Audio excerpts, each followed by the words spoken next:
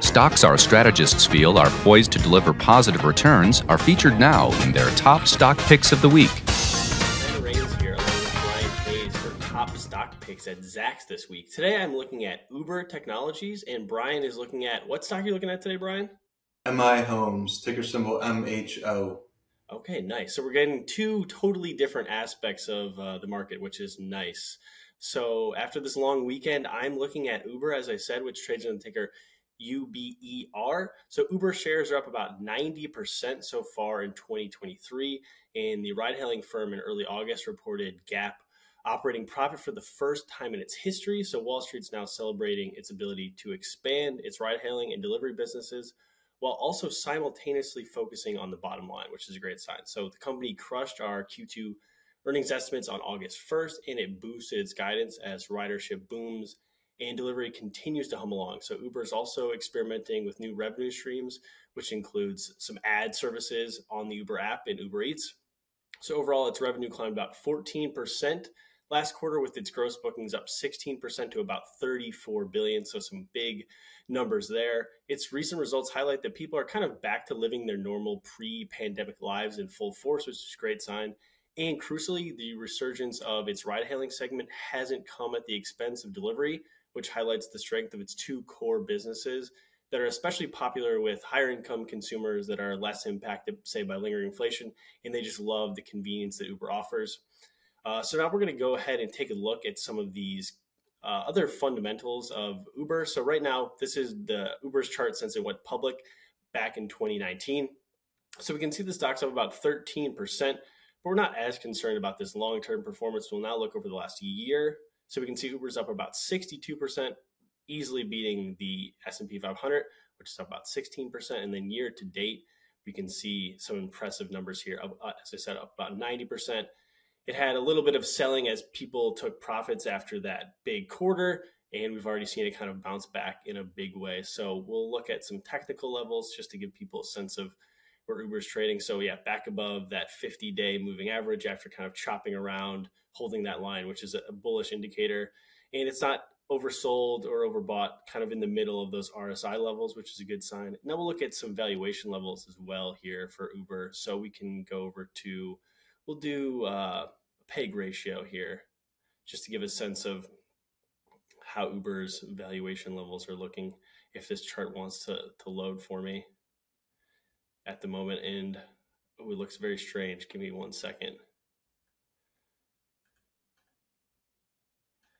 Uh, sorry about sorry about the way this looks, but we can see that Uber's uh, PEG ratio is at 1.2 versus the S&P 500. It's uh, 7.6, and if we look at some of these other numbers, you can see that uh, it traded as high as 15 times uh, or 15 in terms of PEG ratio over the last year. So obviously, some of the valuation metrics are messed up a little bit for Uber when you consider its earnings. So we'll look at price to sales here, forward 12 month sales.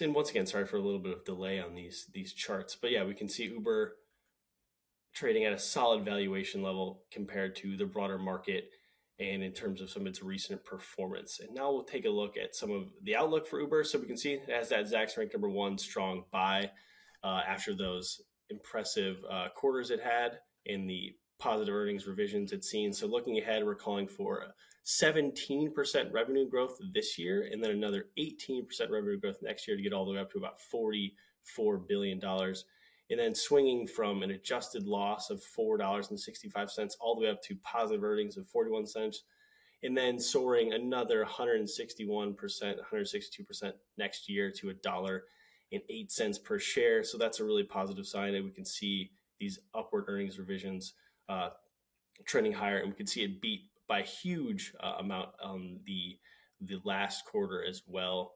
And I will go over quickly look at some uh, key company metrics just to give a sense of more of these things that we have for, uh, oh, excuse me, Uber available here.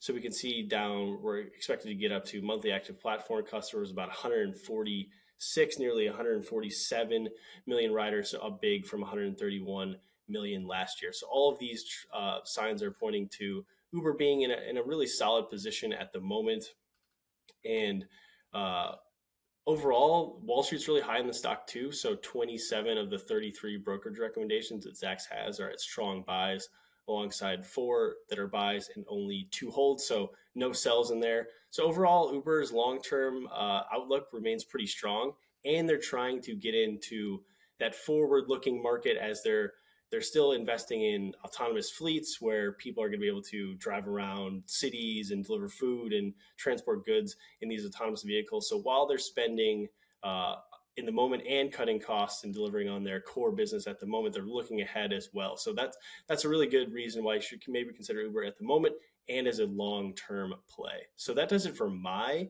uh, pick of Uber. Now we're going to send it back over to Brian. Thanks, Ben. I really like Uber here as well. I think its best days are ahead of it. Uh, my name is Brian Hayes. I'm a fellow strategist here with Zacks. Hope everyone had a nice Labor Day weekend. And I have another exciting pick for you, so let's jump right in. My top stock pick is one of the nation's leading home builders of single family homes. The company I'm referring to is MI Homes, ticker symbol MHO. This company designs, constructs, and sells single family homes as well as attached townhomes to first-time millennial move-up and luxury buyers. MI Homes operates primarily in states like Ohio, Indiana, Illinois, Florida, Texas, and Tennessee. So this is a high quality home builder that is in some of the hottest markets in the country. And in addition to purchasing uh, undeveloped land for the construction of single family homes, the company also originates and sells mortgages as well as serves as a title insurance agent. MI Homes was founded back in 1976. They're based out of Columbus, Ohio. So that's a bit about the company's background and services. Let's shift gears a bit and take a look at MI Homes Industry Group.